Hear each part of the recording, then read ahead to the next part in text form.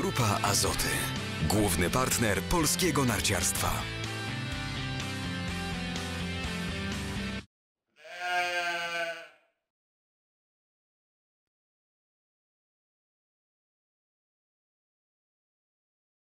Uh, first of all, congratulations. You've been waiting quite a long time for this victory.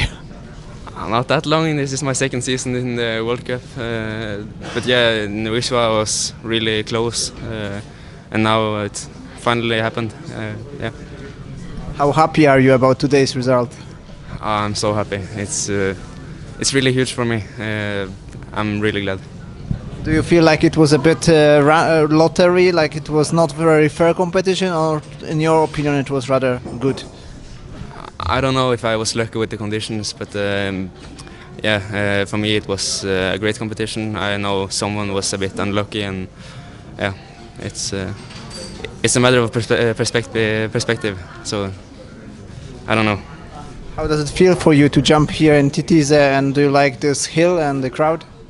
Yeah, it was really uh, good atmosphere and uh, many people. So it was a really fun arena to jump in.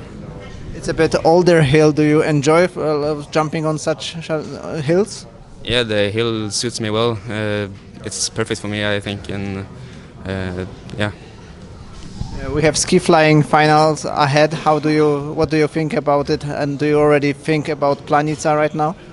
Uh, yeah, a bit. I'm really looking forward to jump ski flying in Planica again. Uh, the hill is, yeah, it's really huge, and uh, the atmosphere there is also really great. So I really look forward to it.